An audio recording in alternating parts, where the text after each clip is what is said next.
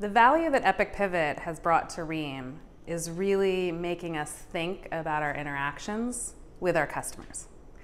We have several different types of customers, and we have made it a practice to speak to them.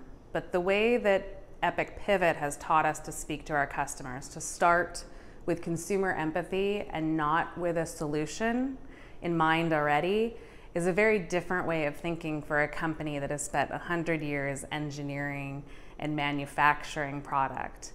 And it's really given us the ability to think about how we are going to change over the next 100 years and the 100 after that.